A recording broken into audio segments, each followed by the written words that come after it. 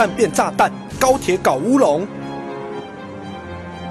哦，说到你们高铁没被气死也剩半条命。昨天我从台北高铁站要搭十二点四十八分的一一五五列车到南部出差，准备上车的时候，刚好你们福清员在巡视车厢。他巡着巡着，看到商务舱旁边电话亭里竟然有一张纸条，写有炸弹。你们通知铁路警察，赶快到车厢内找，再把我们所有人疏散到另一辆列车。结果你们在里面找了三十二分钟，连个鬼都没找到，就算了。